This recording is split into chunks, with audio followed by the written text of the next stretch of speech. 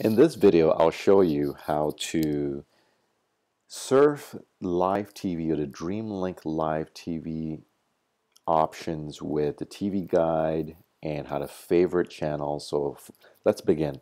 I'll click on My Apps and in the add-on selection, click on DOL2, Dream Online 2.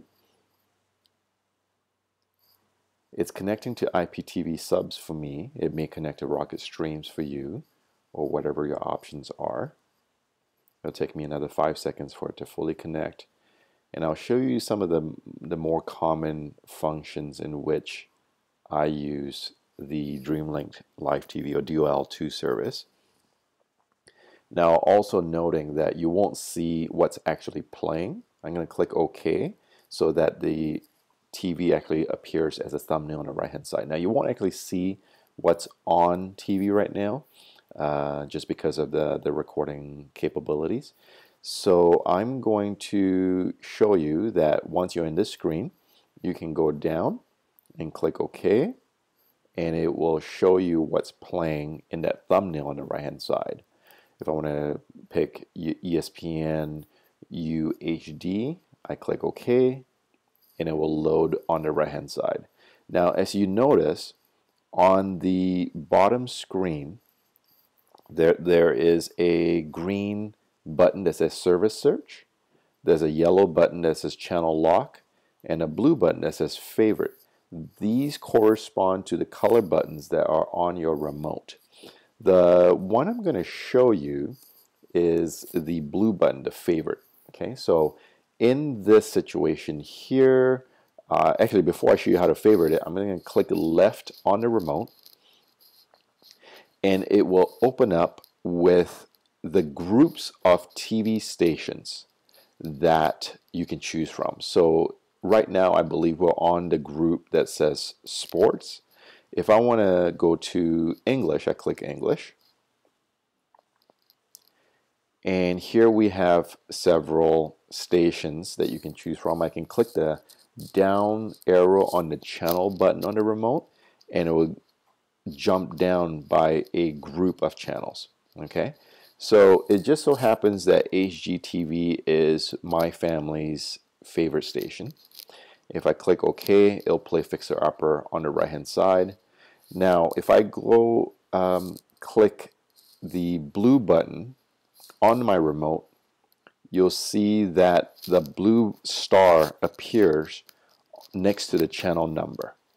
If I go up to, let's say, National Geographic Wild HD, and I click the blue button on my remote again, you'll see that there's a blue star that appears on the beside the, the channel number.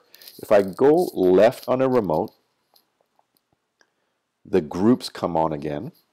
And if I surf up one to favorite and click favorite, you'll see all the different favorited channels, including the latest one that I favorited, which is the National Geographic Wild HD channel.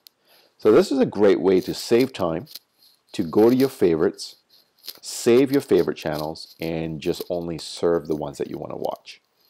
So now that I've shown you how to favorite channels, I want to show you the channel guide. If you look at the bottom of the screen, you'll see an EPG grid option. And if you click EPG on your remote, it's a button right in the middle of your remote that says EPG in blue. If you click on that, it'll show you your TV guide, which is really, really slick. You can go left, you can go right, you can go down to the next channel, click OK, and the video thumb, uh, the TV thumbnail will appear on the top left. not seeing it right now. And if I click exit, it'll show the full screen I click OK, it'll show the thumbnail on the right hand side.